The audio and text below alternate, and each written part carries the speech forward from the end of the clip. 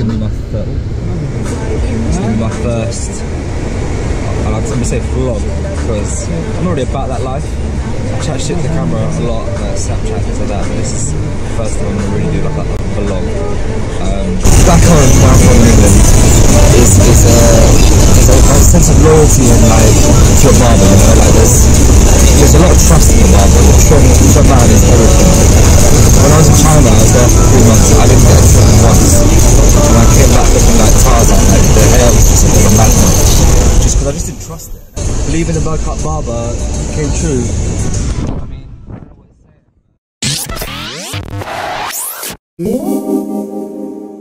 I'm currently leaving Sivakasi, which is where I've been staying for like the past 10 days or more with my. Um, I'm currently getting driven by this driver who's a great guy, driving me around the boys.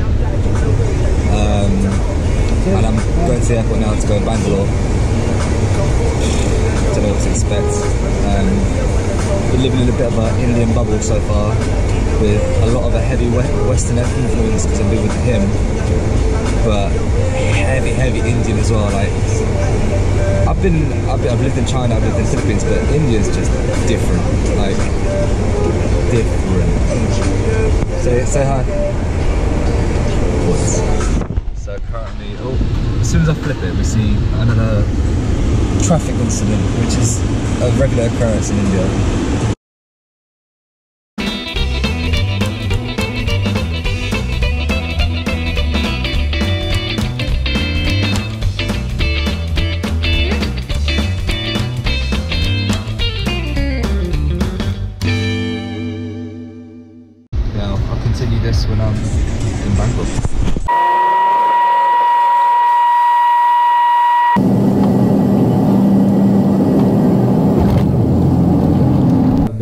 Times now. One thing I've definitely realised is traffic is not their strong point. It's definitely something that's everywhere, unavoidable, and if you're stuck in it for long enough, it'll piss you off. But before I came to Bangalore, one of the things I got warned about was the traffic. And I've lived in Shanghai and awful there. Philippines, terrible. Um, India so far has been pretty pretty bad for traffic. Like you can't get anywhere on time, and if you if it's on time, you have to plan in advance. But one thing I got told from many Indians is Bangalore has really bad traffic, and it lives up to the name. The traffic here is a joke.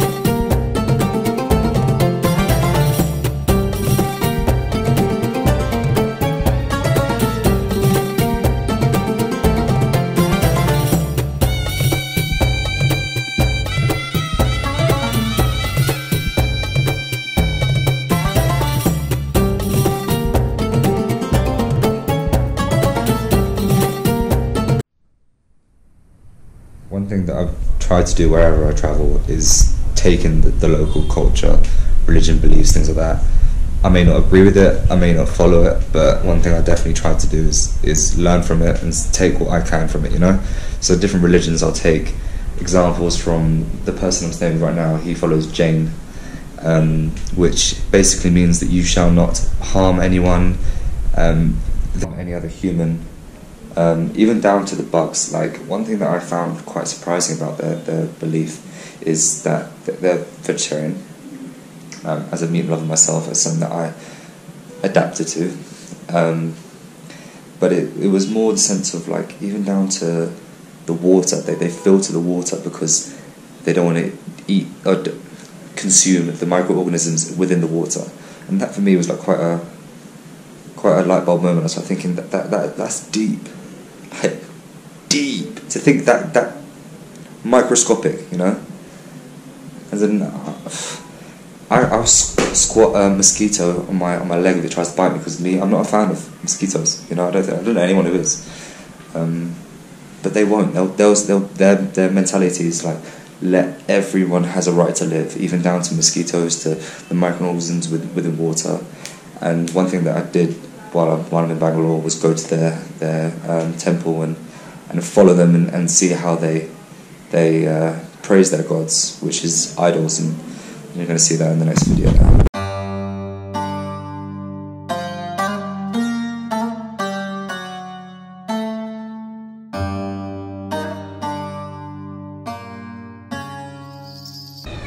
Wow, this is beautiful.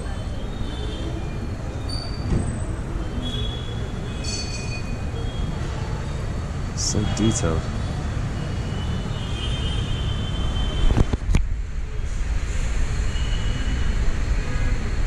Attained complete knowledge by meditation. And it is not now it is around 2000 years back they say it happened. They have uh, attained complete knowledge through meditation and they have attained much much like heaven in what we say in english. They've attained heaven through it. And they show us the path to, for the non-violent community How many are there, you say? there are 24 of them. 24 This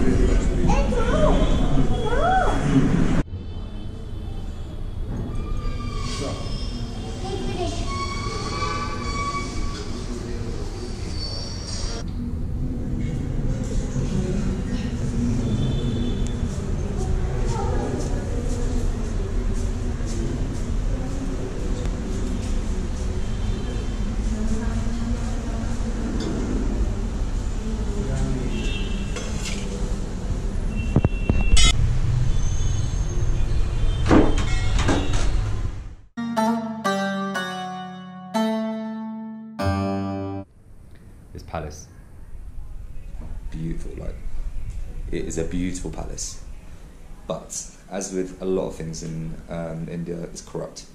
And I was flying my drone, and suddenly security came, bring it down, bring it down, and I'm like, all right, all right, say no. I'm not, I'm not trying to start an argument. Like I'll bring it back. Grabs it out of my hand, starts asking for this and that. Where's your permission? Where's your? It's private property. I was like, oh I'm not aware of it. Like if I was aware, I wouldn't do it because at the end of the day, I'm not trying to piss people off here especially considering I don't speak the same language. Luckily, I had my friends there that did speak the language and, and they spoke, but he actually grabbed it out of my hand and he. My drone's my baby. Anyone that knows me, it's my baby. And when he grabbed it out, it just. Long story short, pay a small fine, 700 rupees, which is about £7, and just go separate ways. He got. That, that £7 going to go a long way for him. It, I mean, it's, it's, it's quite minor for us in, in Britain, but yeah, it's everything here is, revolves around money and, and the exchange of money. Usually, me giving to them. I've not yet to receive myself.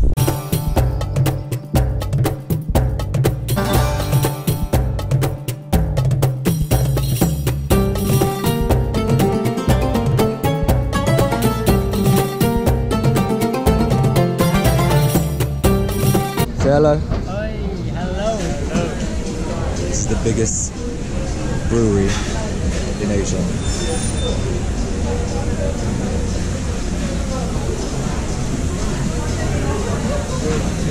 So this bar is called the Bar Exchange. And prices fluctuate depending on how many people purchase it. Like a stock exchange.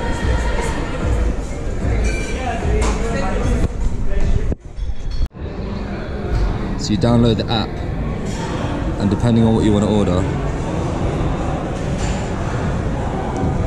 prices fluctuate.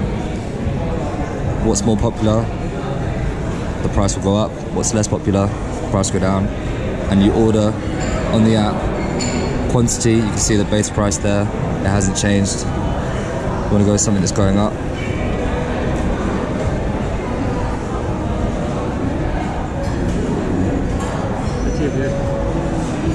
Once you place your order, add to cart,